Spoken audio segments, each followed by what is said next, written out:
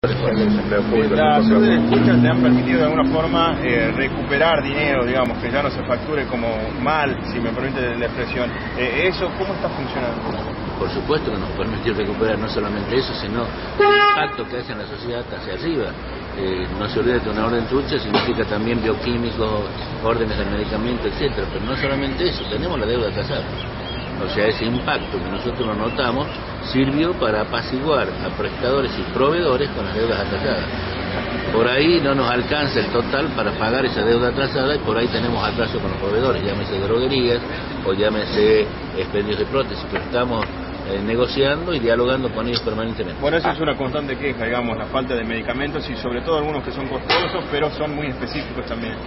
En primer lugar, en lo que respecta a medicamentos que se expenden por farmacia normales, hemos logrado en el mes de junio y especialmente este mes realizar el sistema de informático con ellos y tenerlo nosotros el sistema, por lo tanto sabemos fehacientemente eh, qué es lo que está consumiendo cada paciente. El gran problema que hemos tenido ahí es un desfasaje en cuanto al orden y aumento de las recetas por médicos, como también al orden y aumento de eh, pacientes que han usufructuado mal esa obra, esa obra social. Con respecto a lo que la obra social da, el problema también eh, es muy, ¿cómo te puedo decir?, eh, fluctuante por el tema de la cotización del dólar. Este tema de los fondos bristos, aunque no lo crean, como en enero, febrero, marzo sucedió con la elevación del dólar, eh, permite no cotizar a las droguerías porque no saben en qué momento se dispara. Entonces estamos negociando, por ejemplo, a partir del mes de julio todo lo que es fondo de trasplante, hemos hablado de pago contado prácticamente a 15 días, por un lado de todos esos medicamentos, lo cual a nosotros nos sirve para hacerle presión a las droguerías y que nos estén dando todos los medicamentos eh, como corresponde. Algunos con una tardanza de una semana, de dos días, a pesar de tenerlo. Pero el problema es falta de cotización, también tiene que ver con la fundación del dólar. En, este caso, el tema de los programas los diabéticos y, demás programas que tiene la OSEP, ¿cómo está en la entrega de medicamentos? Eh, ayer, hubo faltantes, ayer hubo un faltante. El Ladalón creo que es me informaron de algunas farmacias, hoy en el día de hoy con el avión están llegando todos los faltantes, gracias a Dios no hay ningún problema con el tema de Usted dijo de la deuda, ¿cuánto asciende la deuda de la obra social en este momento? Decirte un número preciso, yo cuando asumí el 3 de enero dije 450 millones sacados de las deudas de septiembre, octubre, noviembre y diciembre, más los porcentajes que se debía del mes de mayo. Esto no estaba avalado por las deudas anteriores. Hoy tenemos eh, juicio por deudas del 2007, 2008, 2009, 2010, 2011, 2012, 2013 de algunas expendedores. Tenemos problemas, como les dije recién, con el recupero. Tenemos problemas con eh, la FIP. Eh, bueno, todo eso se está solucionando a medida que vamos poniendo y, evitando indudablemente... Eso quiere decir que vos que agarrar una bomba de tiempo, usted. Una bomba de tiempo con muchas espinas, porque por ahí escucho con una sonrisa realmente que la obra social tiene excedentes. es cierto, el excedente está en el fondo de trasplante porque no se lo puede tocar, punto. El resto siempre estuvo en déficit.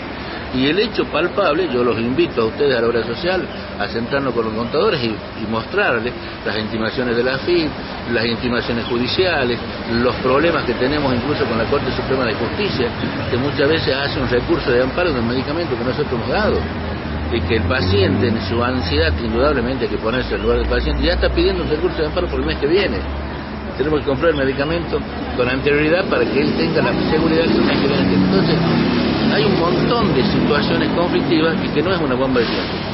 Eh, esto quiere decir que uno se pregunta qué le dejó el, director o, quien estaba a cargo anteriormente, ¿no? Los directores.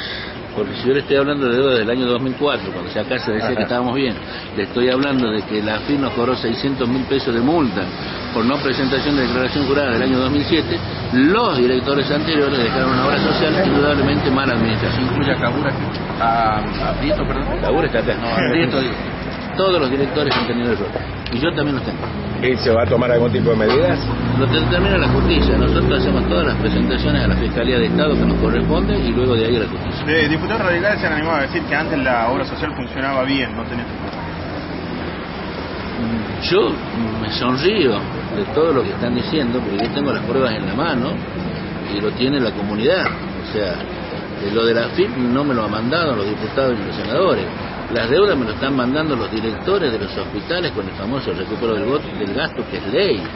Los juicios que tenemos, incluso en algunos casos, están imbuidos eh, funcionarios o exfuncionarios radicales. Por lo tanto, lo que digan está palmado en las notas. Puedo demostrar que no es así, porque si no estaríamos bien. ¿Las ventas de orden en las farmacias continúan hasta cuándo? Continúan porque hay un sistema de equidad y justicia en las farmacias.